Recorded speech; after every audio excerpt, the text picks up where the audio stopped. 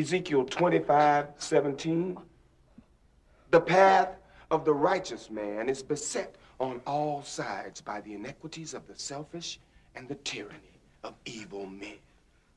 Blessed is he who, in the name of charity and goodwill, shepherds the weak through the valley of darkness. For he is truly his brother's keeper and the finder of lost children.